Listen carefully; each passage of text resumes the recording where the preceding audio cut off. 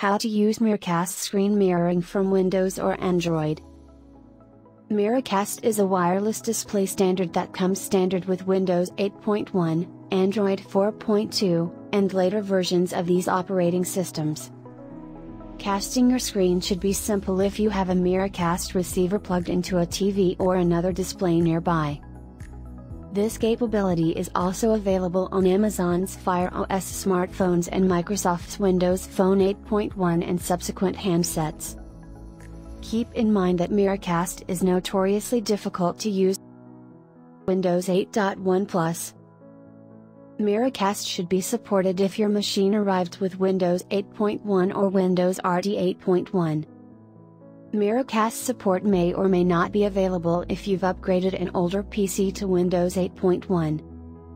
Before you see the Add a Wireless Display option below, you may need to update your drivers from Windows Update or your computer manufacturer's website. We couldn't see the below option till we deleted VirtualBox from our Surface Pro 2.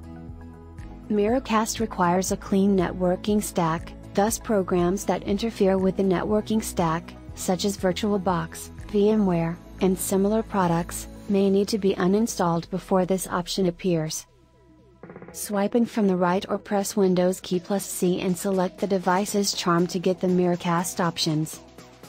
Select Project from the drop-down menu, open the device's charm, touch or click the project option, and then click the disconnect button under the wireless display to disconnect. These parameters can also be found in the PC settings menu. To get to it, go to the bottom of the settings charm and click or press the change PC settings link. Go to computers and devices greater than devices.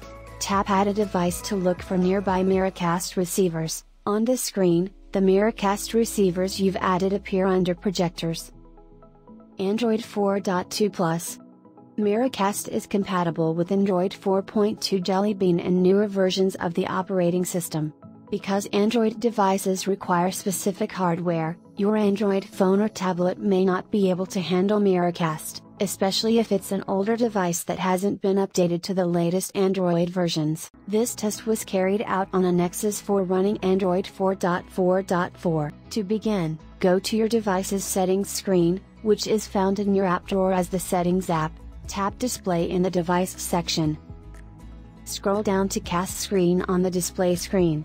You can also cast to Chromecast devices from here, albeit Chromecast doesn't support Miracast. Select Enable Wireless Display from the menu button at the top of your screen. Your phone will look for Miracast devices in the area and list them under Cast Screen. It should display in the list if your Miracast receiver is turned on and close by. To connect, tap the gadget and start casting your screen. A visible indication that you're casting your screen will display as a notification. To stop casting your screen, pull down the notification shade at the top of your screen and tap the disconnect button. If you've activated the wireless display feature under cast screen, you can also cast from the quick settings screen. To activate quick settings, pull down with two fingers from the top of your screen, hit the cast screen button, and you'll see a list of nearby devices to cast to. To begin casting, tap one of the buttons. It should be this simple if your computer, smartphone, or tablet supports Miracast and you have a Miracast receiver nearby. Because Miracast uses Wi-Fi Direct, the devices don't even need to be connected to the same network to interact. Problems with your home network or router should not be a consideration, even if they connect, Miracast-enabled devices frequently refuse to function together or have problems with playback glitches and dropped broadcasts. Miracast is clumsy and buggy in practice. It's possible that you'll need to double check that your receiver supports the specific device you're trying to cast to. This is something that, with an open standard like Miracast, shouldn't be essential, but unfortunately appears to be. Roku, for example, has a list of devices that have been officially tested and approved to function with their Miracast implementation on their website. Check the documentation for your Miracast receiver to see if your device is officially supported or if there are any known issues with it.